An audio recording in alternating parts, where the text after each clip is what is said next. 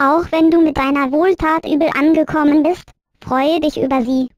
Der andere wird sich immer ärgern, wenn du deine Wohltat selbst in einem solchen Fall nicht bereust. Und jetzt singe ich dir noch ein Liedelein und hoffe ich mache dir eine kleine Freude damit.